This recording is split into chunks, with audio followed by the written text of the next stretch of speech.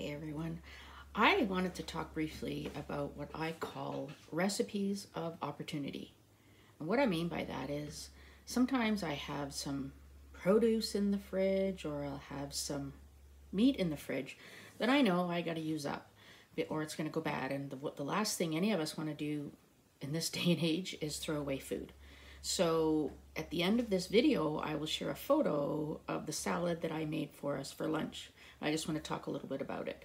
So I had a little bit of shredded carrot, I had a half of a red pepper, I had some green onions, I had a quarter of a cucumber, and I had some crab meat. You know, crab meat is a, is a loose term. Let's say it's, I got it from Costco. It's, uh, you know, it, it uses fish to make the crab meat, but I absolutely love it. And I think it's a super quick meal, you know, meal additive, let's say.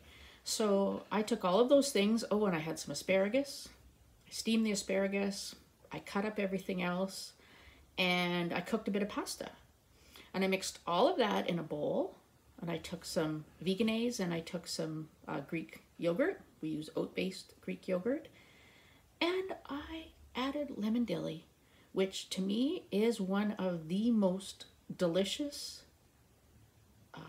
seasoning mixes that Epicure has. I use it on fish. I use it on potatoes. If I eat eggs, I'd use it on eggs. I use it to make a salad dressing. I just think it is one of the most versatile products we have. Anyway, I mixed that all together with, I took a tablespoon of the lemon dilly and I'm going to say I used, I don't know, a third of a cup each of, of um, uh, Vegenaise and, uh, and Greek yogurt. Mixed it all together and then mixed everything in the bowl.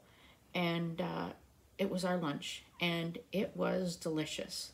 So again, I just call these recipes of opportunity. You could also call them a recipe of necessity, right? If you want to use up those food products that you have in the in the fridge. I guess it's just how you use your imagination, what you want to do with that and you know, what you what you can think up that would work. If you have any questions about ingredients you have in your fridge and you want some ideas, shoot me a message. I'm happy to give you some suggestions because I seem to do well with these recipes of opportunity, as I call them.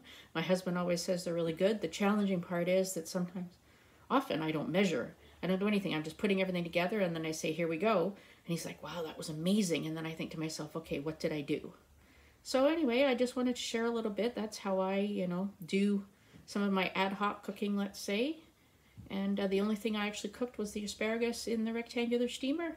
Anyway, have a fantastic day and uh, I'll be back talking to you or sharing a video with you shortly. Thanks, guys. Bye-bye.